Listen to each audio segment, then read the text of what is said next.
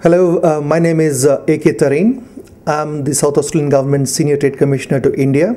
I'm here today at FAPCCI to uh, address the members of FAPCCI uh, in Hyderabad. This is my second address in the last two years as we try to build very close relationships between South Australia and Andhra Pradesh.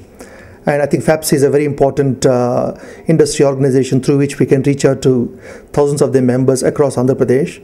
I'm here basically today to um, inform the members of FAPCCI about business opportunities uh, that exist for the members to do with South Australia. This spans a number of areas like education, uh, um, tourism, uh, investments in South Australia, mining, defense, automotive, uh, renewable energy, and so on and so forth.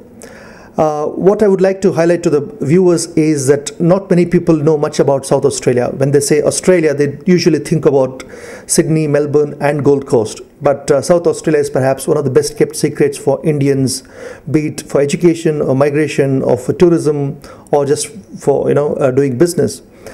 Uh, just to give you a brief about South Australia, we are the education city of Australia. We have three world-class universities. University of Adelaide, which is one of the oldest um, and one of the highly ranked uh, universities in Australia. Uh, University of South Australia with, uh, and Flinders University in South Australia. Um, in addition to these three world-class universities, we also have uh, campuses of two international universities in Adelaide, which is University College of London and Carnegie Mellon University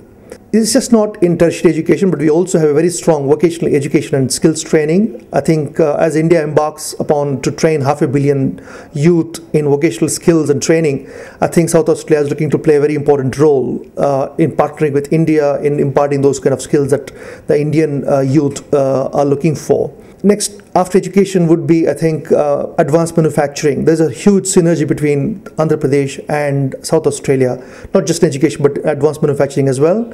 Uh, this includes automotive components, um, defense, and uh, high technology uh, manufacturing processes. Uh, we uh, have General Motors Holden and a very strong support base uh, catering to Gen GM Holden in South Australia. And in addition to that, we are the defense capital of Australia. Some of the biggest companies, international companies that operate in Australia have their presence in South Australia. Um, after defense, the another area of synergy for us would be renewable energy. We are the Adelaide is the first green city of Australia.